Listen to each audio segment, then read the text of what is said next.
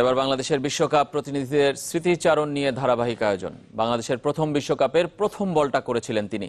Pacer হয়েও বিশ্বকাপের প্রথম ছয় এসেছিল হাসিবুল হোসেন শান্তর ব্যাট থেকে। তবে আক্ষেপ পাকিস্তানের বিপক্ষে ঐতিহাসিক জয়ের ম্যাচে একাদশে জায়গা না পাওয়া।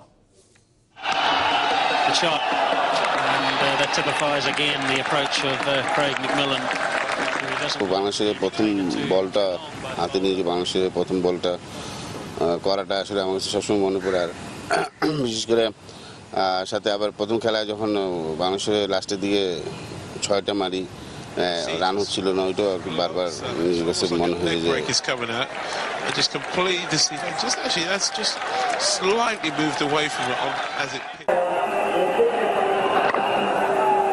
Good looking shot.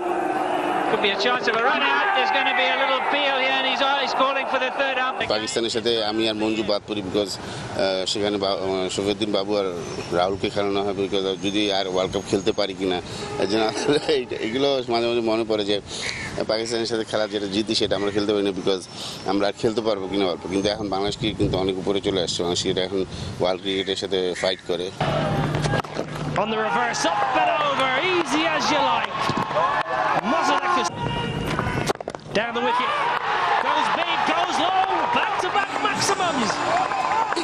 থেকে এই উনিশে এসে যে আমরা বলতে পারো যে হয়তো ফাইনাল খেলতে পারে এইটা কখনো চিন্তা করিনি অভিজ্ঞতার দিক দিয়ে যদি বলেন আমি বলব যে বাংলাদেশে যে যারা সিনিয়র প্লেয়ার আছেন তারা কিন্তু বেশ লম্বা সময় ধরে ক্রিকেট খেলছেন এবং তাদের অভিজ্ঞতা কিন্তু অনেক আর আমার কাছে মনে হয় এবার ব্যাটিংয়ের যারা আছেন ব্যাটসম্যান যারা, তারা খুব ফর্মে আছেন এবং খুব স্ট্রংলি অবস্থায় আছেন।